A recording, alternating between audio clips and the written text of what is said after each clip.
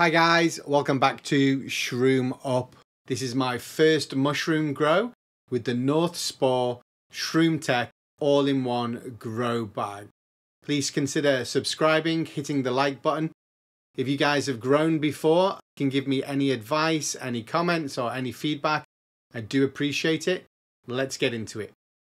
Back in December 2024, I visited MJ BizCon and bumped into the North Spore guys, and I was hooked and interested in trying a mushroom grow from there. So I contacted them when I got back from MJ BizCon and they sent me some samples. So now it doesn't come with any spores or liquid culture.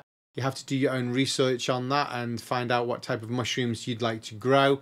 I started in the previous episode with a liquid culture. This is 10 days after I injected the liquid culture into both of these all-in-one grow bags. And as you can see, the mycelium has started to grow. Now, based on my research, I have to wait until about 20 to 25% of the bag is full of the mycelium before I go to the next level, which is the break and shake, where we actually break up this mycelium and then spread it into the rest of the grain or substrate that's in these bags, and then wait for it again to kind of like fully colonize the bag. So we still have to wait a little bit longer. This has been 10 days. This is now 13 days later, and as you can see, the mycelium has really, really started to spread and colonize the inside of this bag. So I don't think we're far off. I think we're just going to wait a little bit longer before we actually do the break and shake. It's weird, every time I say that, I think of Will Ferrell and Shake and Bake on, um, it that Talladega Nights? Is that what it was? But uh, no, we're going to be doing the break and shake.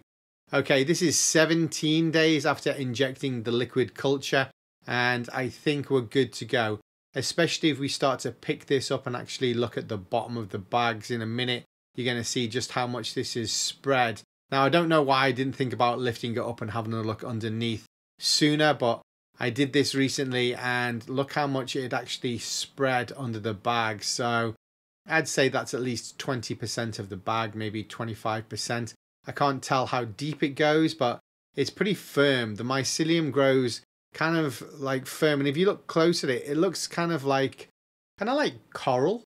It doesn't really look like a um, like fungus. It reminds me of kind of a coral, but it's definitely colonized well. Doesn't seem to be any sign of contamination or based on my experience and my research, it doesn't look like it's contaminated. Everything looks healthy. So I'm going to be cleaning the surface with 70% isopropyl alcohol again in future i'm probably going to invest into a still box where everything can be self-contained and there's no airflow. So i lessen the risk of any contamination from airborne kind of particles or anything in the air. So that's definitely something i'm going to consider or i'll probably invest in one of those in the future.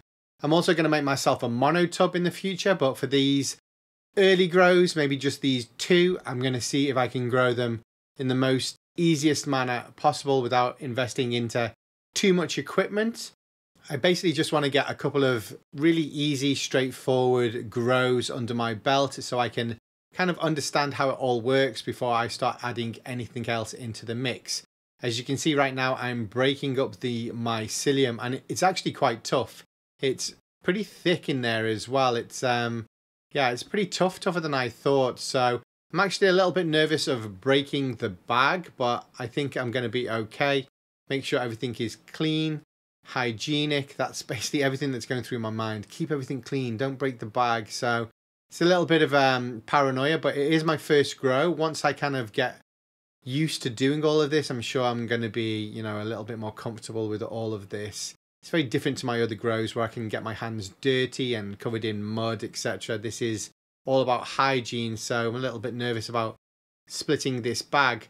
Once we've broke up all of the mycelium, and as you can see, it took quite a while. It took about 10 or 15 minutes for me to break up all of these little nodules and chunks in there and then shake the bag up. So just wanted to make sure that I had a good spread and everything was broken down and completely spread through the substrate inside of the bag.